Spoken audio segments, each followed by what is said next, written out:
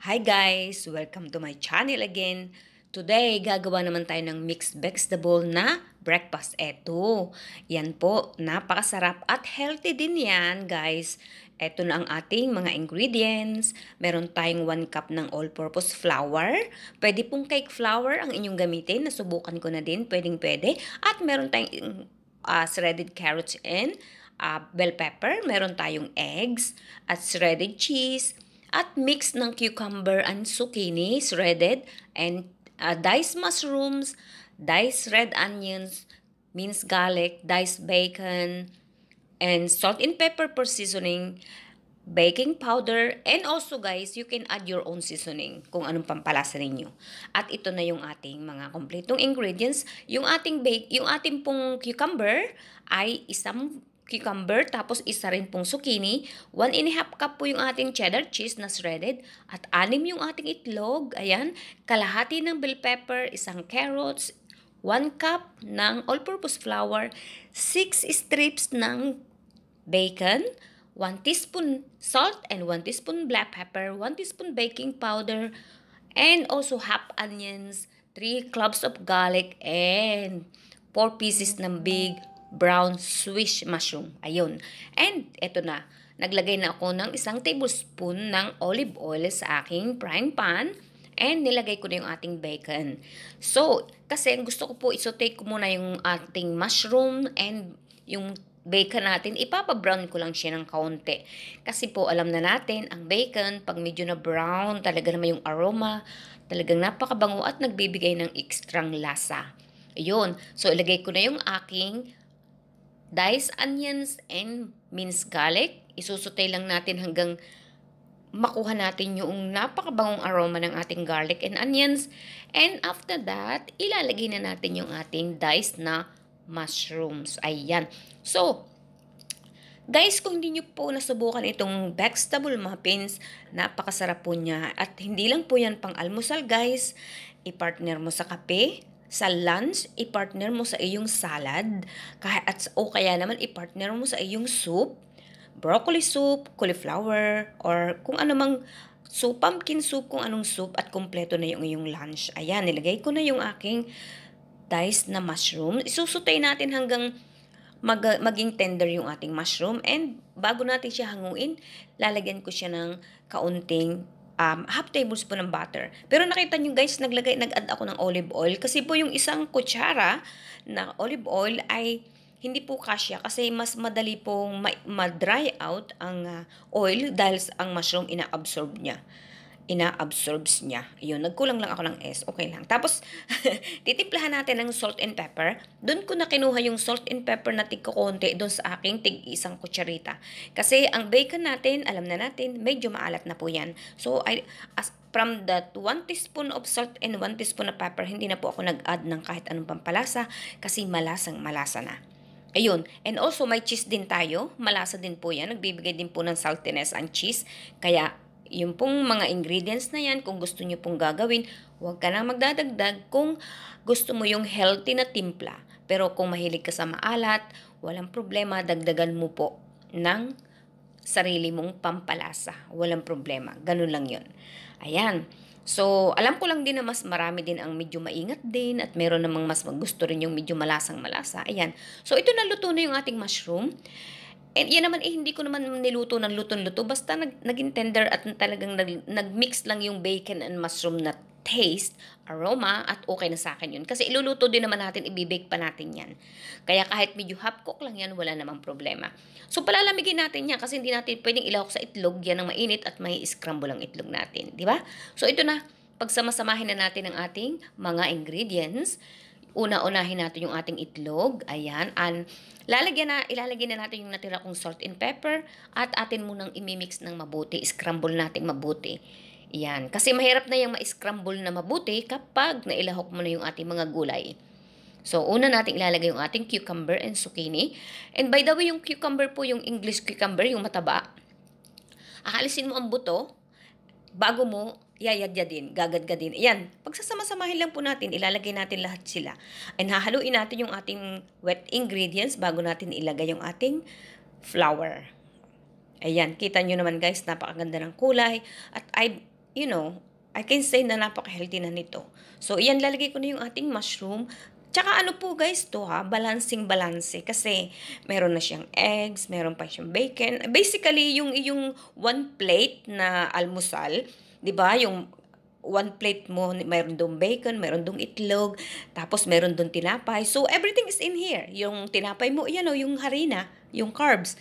Tapos yung, yung, yung bacon, nandiyan na, nandiyan na din yung, yung mushroom. ba diba? Yung egg mo, nandiyan na rin. So, it just one perfect breakfast and a cup of muffins. Ayan. Just one muffins, complete na yung breakfast mo. Pero hindi po one. Dalawa po kinain ko sa almusal. Huwag ka maniwala pag sinabi kong isa lang. so, yan eh. Akin lang pong i- i-strain, isi-sifted ko lang yung aking harina kasi para lang yung sigurado ko na yung ating uh, baking powder ay walang buo Kasi iba, pagka nanguya mo yun, medyo ano yun eh medyo may lasa. Tsaka mapapansin nyo kaminsan meron kang makukuha dyan na medyo kaunting yung ang harina po kasi lalo pag matagal na, medyo may kaunti diyang ano-ano eh, anik-anik. Kaya kailangan isipted mo na para sigurado. Ayan, nagkalat na yung harina ko. Ganyan po pag nagsisip, huwag ka nang mag-alala. Then haluin lang natin ng dahan-dahan sa umpisa kasi para naman hindi yung harina i ano matapon sa tabi-tabi ng sobra-sobra. Pero hindi mo naman ma-avoid na may harina sa ano kasi ano yan eh, powder yan eh, talagang un, ano yun, uncontrollable. Sabay ganun. Ayan, haluin lang natin. And then pag na-mix very well na, ilalagay na natin sa ating muffin tins or muffin cups or minsan nasubukan ko na pong inilagay ko yan sa aking ano, sa aking cake pan. Okay lang. Tapos ini-slice ko pag si-serve Maganda rin, okay lang. Pero ito para ano lang. Kasi ang gawa ko po dito kasi madami itong, pag marami po yung ginagawa ko, pag malamig na yan, luto na, malamig na, babalutin ko siya sa uh, cling wrap at ilalagay ko sa freezer. Para po, ayun lang po talagang style namin eh. Para pagka gusto namin kumain uh, the, next day or the next few days, i-defrost lang yun. Basta ang importante guys, kung magpo-frozen ka ng pagkain, lagi ko sinasabi, Huwag lip over. Halimbawa yan, bagong luto. Palamigin mo yung bagong luto. Tapos saka mo i-freezer. Huwag yung galing sa lamesa na lip over, ipoprosin mo. Guys, huwag mong gagawin yun. Kasi ano na yun, hindi maganda. So, pag alam mong hindi mauubos, iserve mo na yung kalahati, tapos yung kalahati, sigurado, diretso na sa freezer na hindi pa nagagalaw. Ayun, advice. Advice lang si Lola. So, ayan, tapusin lang natin ang paglalagay natin sa ating muffins and then i-bake natin yan 25 to 30 minutes. Pero, depende po sa oven. Depende po sa init ng oven. Talaga pong iba-iba yan eh. So, bantayan nyo lang. Keep, keep an eye. At pagka yan i-brown na yung ibabaw, i-golden brown na, luto na yan. Kasi itlog naman yan eh. Tsaka ano, mga fresh na vegetable na hindi mo kailangang igisa. Mga actually vegetable na pang salad, di ba?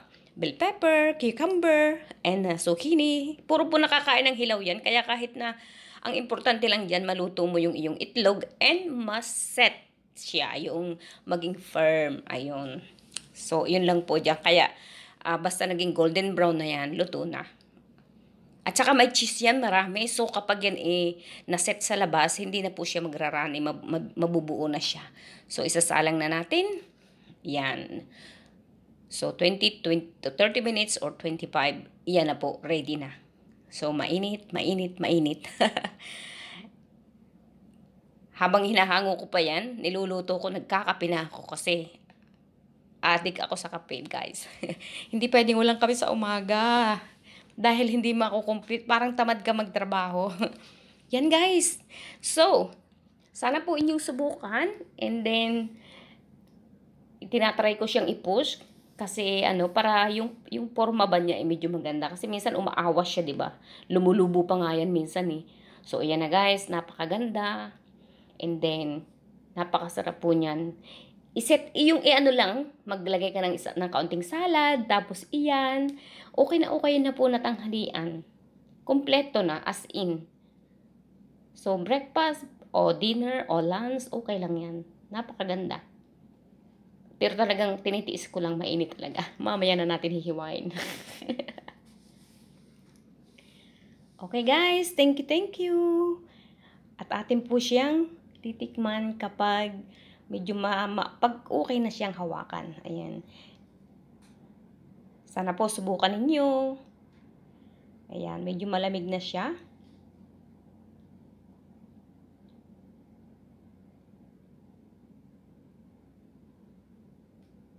Ito pong anong to, itong uh, napaka-healthy po nitong ating muffin na yan.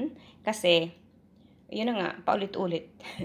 Kumpleto na siya. And ano, ano din naman siya, um, meron din namang, kasi hindi ko rin lang alam kung masasabi kong mura eh kasi ang hirap ng ano ngayon eh 'di ba ang mahal ng bini, mga binibili so ayan humanap lang po tayo ng mga alternatives na gulay na pwede mong ilagay kasi kahit po sa bata talaga pong ano this is uh, yung isang muffin sa isang bata and talaga more than enough na more than enough na po. Kasi very ano na siya healthy na siya kompleto na talaga. Kaya minsan kasi uh, yung ating mga, yung, di ba, yung inihahain lagi natin sa lamesa, yung two dishes or one big dishes, kagaya ng halimbawa, sinigang at kanin, di ba, yung sinigang natin, ang dami-dami, ang laking, ano nun, di, siyempre, ang malaking, ang laking budget, di ba? So, minsan yung isang ganito, kahit po isa lang ang kainin ng anak mo niyan, okay na yan eh, kasi, ano naman siya eh, kumpleto na siya. Hindi mo na sasabihin, naku, nakain ba ng anak ko yung kumpletong gulay? Yes, andyan na. Kumpleto na. Gumawa rin po ako ng maliliit, para nga, see, cute na cute para sa mga bata. Ganyan. So, kapag, kaya sabi ko nga, eh, ano, it's not about the qua quantity of what you eat, it's about the quality. ba diba? Kahit kaunti lang yung kinain mo, tapos kung alam mo naman na yung kailangan mong nutrients ay nandun na sa isang sa isang maliit na yun o sa isang ulam na yun o isang sa isang plate na yun, okay na yun. Hindi mo na kailangan yung 4 dishes, 5 dishes sa table. So, basta ang importante, may makukuha ka doon sa iyong kakainin, di ba? Lalo na sa panahon ngayon. Kaya, yan. I hope na ano, subukan ninyo to. Kasi ang, ang ano ba ang pinakaano lang dito? Hmm, yung bacon. So, pwede, uh, hindi ko pa natatry na lagyan ng tuna. Mag-toast ka siguro ng tuna, baka pwede. I think na-imagine ko na one day susubukan ko. mauna na kung sinong mauna, i-share nyo na lang po. Yeah, alternatives, yung tuna, kaysa bacon. Kasi ang bacon, syempre, mahal yun. ba diba? Eh, sa atin naman, ano naman tayo, meron naman tayong affordable na cheese. Kaya hindi ko na inaano yun. Kasi pwedeng-pwede naman po yung cheese na yun. Yung ating affordable na cheese, meron tayo. Huwag nyo lang lalagyan ng, ma ng madami. Kasi yung cheese na yun, medyo maalat eh. Ayun, so pwede, pwede nga, I think naisip ko na pwede yung tuna, uh, alternatives ng bacon, tapos yung ating gulay, ayun, Meron naman tayong pipino, di ba? And then, pag ako umuwi, ang dami kong susubukan na pagkain. Na, yung alternatives ba? ng mga recipe ko. Kasi yung mga recipe dito sa ibang bansa, siyempre, yung mga gulay, eh, ano, hindi mo ma... Kailangan may alternatives ka kung nasa Pilipinas na. I think may mga naiisip ako na marami din ng mga ano. So, ito, try natin. And then, pag tayo nasa Pilipinas, gagawa tayo ng sariling atin na recipe na talagang Filipino ingredients. Ayan. So, ito guys, tingnan ninyo, napaka, and then, cheesy, tapos, ano, may mas, very tasty, may mushroom. Hindi ko rin alam kung anong alternative sa mushroom. But anyway, guys, I hope you try again. And then, also, alam nyo, alam nyo na ako pa ulit-ulit. Kasi, I'm, kaya ako pa ulit-ulit, I just want to encourage everyone na sometimes you cook some healthy food. Ayun. And, alam ko pag sinabing healthy, syempre, yung lasa niya, light. Light, mat matabang, di ba? So, sana subukan nyo guys and thank you very much. Thank you, thank you, thank you and God bless everyone.